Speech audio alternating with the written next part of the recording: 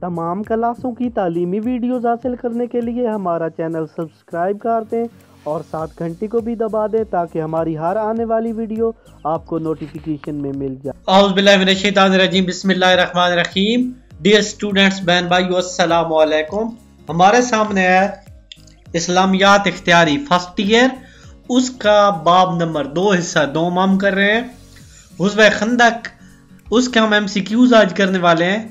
تو چلیے ویڈیو کو شروع کرتے ہیں۔ پہلا ایم سی کیوز ہے، غزوہ خندق کب پیش آیا۔ نمبر ایک، تین ہجری، نمبر دو، پانچ ہجری، نمبر تین، چھ ہجری، نمبر چار پہ ہے، چار ہجری۔ تو غزوہ خندق پانچ ہجری کو پیش آیا تھا۔ غزوہ خندق کب پیش آیا، پانچ ہجری۔ نیکسٹ سوال، غزوہ خندق کا دوسرا نام کیا ہے؟ نمبر ایک، غزوہ سویک نمبر دو، غزوہ ذات السلاسل، نمبر تین، غزوہ عذاب، نمبر چار، غزوہ تبوک۔ تو اس کا غزوہ خندہ کا دوسرا نام غزوہ اعزاب بھی ہے۔ نیکسٹ خندہ کھودنے کا مشورہ، خندہ کہتے ہیں کھائی کو، ٹھیک ہو گیا۔ کھڈا۔ خندق کھودنے کا مشورہ کس نے دیا؟ نمبر ایک، حضرت ابو باقر صدیق نے، نمبر دو، حضرت عمر نے، نمبر تین، حضرت سعد بن معاذ نے، نمبر چار، حضرت سلمان فارسی نے۔ خندق کھودنے کا مشورہ حضرت سلمان فارسی نے دیا تھا۔ نیکسٹ سوال، عربی کے مشہور پہلوان عمر اور ابو ابدود کی شرکت۔ عمر عمر و ابدود کی شرکت۔ یہ عمر و ابدود اکٹھا ہے ٹھیک ہو گیا؟ یہ الگ الگ نہیں ہے۔ عمر و ابدود عمر عبدود کی شرکت۔ نمبر ایک غزوہ بدر میں، نمبر دو غزوہ عود میں، نمبر تین غزوہ خندق اور نمبر چار پہ غزوہ حنین۔ تو عمر عبدود کی شرکت غزوہ خندق میں ہوئی۔ نیکسٹ غزوہ خندق میں مسلمانوں کی تعداد کتنی تھی؟ نمبر ایک تین ہزار، نمبر دو دو ہزار، نمبر تین پانچ ہزار، نمبر چار آٹھ ہزار۔ غزوہ خندق میں مسلمانوں کی تعداد تین ہزار تھی۔ نیکسٹ سوال حضوہ خندق میں کفار کی فوج کی تعداد کتنی تھی؟ نمبر ایک پانچ ہزار، نمبر دو سات ہزار، نمبر تین چھ ہزار، نمبر چار دس ہزار۔ حضوہ خندق میں کفار کی فوج کی تعداد دس ہزار۔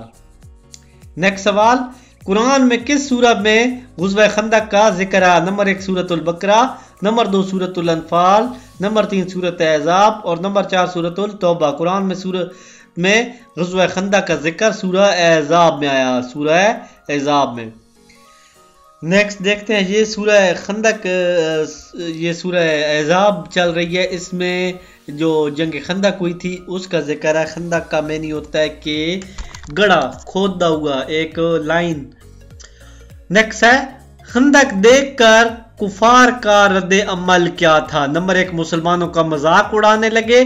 نمبر دو، ایک معمول کی کروائی سمجھا، نمبر چیز، نئی چیز دیکھ کر حیران رہ گئے، نمبر چار، پار گئے۔ خندق دیکھ کر کفار کا رد عمل کیا تھا، کفار حیران رہ گئے تھے۔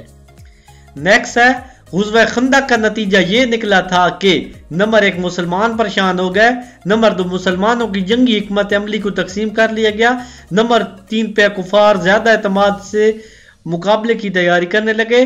نیکس یہود نے مسلمانوں کی مخالفت ترک کر دی۔ غزوہ خندق کا نتیجہ یہ نکلا کہ مسلمانوں کی جنگی حکمت عملی کو تسلیم کر لیا گیا۔ نیکس ہے غزوہ خندق میں کفار کا سردار کون تھا؟ نمبر ایک ہی بن بن اختب، نمبر دو، عمر بن امیہ، نمبر تین، ابو سفیان، نمبر چار کاب بن نسد تو غزوہ خندق میں کفار کا جو سردار تھا وہ ابو سفیان تھا۔ نیکس غزوہ خندق کے موقع پر یہود کے کس قبیلہ نے بدعدی کی؟ نمبر ایک بنو کین کا، نمبر دو بنو قریضہ نمبر تین بنو نذیر اور نمبر چار بنو سویک تو جس قبیلہ نے بدعدی کی، اس کا نام ہے بنو قریضہ نیکسٹ کفار مکہ نے کتنے دن مدینہ کا محاصرہ جاری رکھا؟ یعنی مدینہ کا پیچھے کیا بیس دن، نمبر دو تیس دن، نمبر تین چالیس دن، نمبر چار پچاس دن۔ کفار مکہ نے مدینہ کا تیس دن محاصرہ جاری رکھا، تیس دن محاصرہ کرتے رہے۔ نیکسٹ دیکھتے ہیں۔ نیکسٹ ہے۔ غزوہ خندق میں اللہ تعالیٰ کی مدد کس صورت میں آئی؟ نمبر ایک، فرشتوں کی صورت میں۔ نمبر دو، غزا کا نزول۔ نمبر تین، آندھی اور طوفان کی شکل میں۔ نمبر چار، پتھروں کی بارش۔ تو غزوہ خندق میں اللہ تعالیٰ کی مدد آندھی اور طوفان کی صورت میں آئی۔ تو اللہ تعالیٰ نے غزوہ خندق کے موقع پر آندھی اور طوفان بھیجا تھا۔ نیکسٹ کفار کے لشکر میں اختلاف کس صحابی نے پیدا کیا؟ نمبر ایک، حضرت سعد بن معاذ، نمبر دو، حضرت سعد بن عبادہ، نمبر تین، حضرت مصب بن عمیر، نمبر تین، چار پہ حضرت نعیم بن مسعود۔ تو حضرت نعیم بن مسعود نے کفار کے لشکر میں اختلاف پیدا کیا تھا۔ نیکسٹ بنو قریضہ کے بارے میں کیا فیصلہ ہوا؟ نمبر ایک جلا وطنی نمبر دو، مدینہ میں رہنے کی اجازت. نمبر تین، مردوں کا قتل. نمبر چار، ان کی مرضی پر چھوڑ دیا گیا. بنو قریضہ کے بارے میں فیصلہ ہوا کہ مردوں کا قتل کیا گیا، مردوں کا قتل کیا گیا. اسی ویڈیو کے ساتھ میں اجازت چاہتا ہوں، اللہ حافظ. ہماری ویڈیوز کو، اسلامک ویڈیوز ہیں، ان کو پھیلانے میں ہمارا ساتھ دیں. نیکی کے کام میں حصہ لیں. آپ کے لیے اتنا ہی کافی ہے کہ ہمارے چینل کو سبسکرائب کر دیں ساتھ گھنٹی بھی دبا دیں تاکہ ہم جو ویڈیوز اپلوڈ کریں وہ مل جائیں۔ اور آپ سے گزارش ہے کہ ہماری کوئی بھی ویڈیوز پانچ منٹ چلا دیں، اس سے یوٹیوب ہماری ویو ٹائم بڑھے گا اور یوٹیوب ہم کو آگے آگے لے جائے گا۔ اسلامک ویڈیوز پھیلیں گی، لوگ دیکھیں گے اور اس کا ثواب آپ کو بھی ملے گا۔ اس ویڈیو کے ساتھ میں اجازت چاہتا ہوں، اللہ حافظ۔ اگر آپ کو ہماری کوئی ویڈیو نہیں مل رہی اور آپ ویڈیو سرچ کرنا چاہتے ہیں تو آپ سب سے پہلے اپنے یوٹیوب میں آ جائیں۔ یوٹیوب میں آنے کے بعد یہاں پہ سرچ جو بار بنی ہوئی ہے، یہاں پہ لکھنا ہے توقیر سائنس اکیڈمی۔ یہاں پہ لکھ کے سرچ دبائیں گے تو یہاں پہ نیچے بھی یہ سارے لیکچر آ جائیں گے۔